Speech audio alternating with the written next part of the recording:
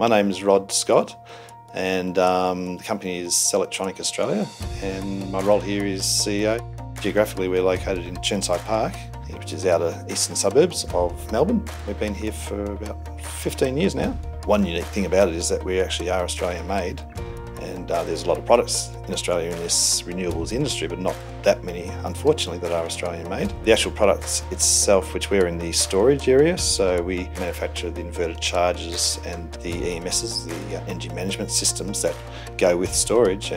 They're versatile, uh, so they can be adapted to a lot of different areas, uh, both on-grid and off-grid applications as well as uh, very, very robust because, as you know, Australia has some very extreme conditions. Very uh, solid products, very reliable. Because we've had that much experience in this industry as well, I guess we put a lot of features in there that um, the customers really, really need.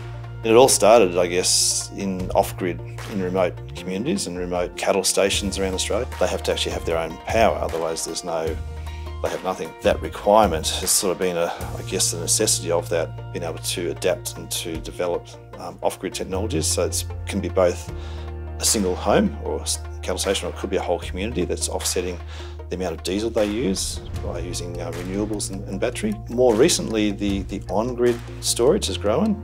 Businesses are more taking up as well the actual battery storage so they have reliable power as well as offset their, their costs. So the target market is more the upper end of the residential. There's the smaller systems that are out there now that can sort of handle small homes. And though some people still like the idea of having a, a solid, reliable piece of equipment, you know, running their, their home. But so bigger homes, um, commercial, like, like this premises here, they might want to put solar on the roof, be able to actually run when the power's down, their essential loads, as well as even be able to keep their their demand down because there's a lot of cost for a commercial premises when their demands go too high and so they can control that and as well as still with off-grid and our target markets all are all global as well so we're very proud to take this product around the world.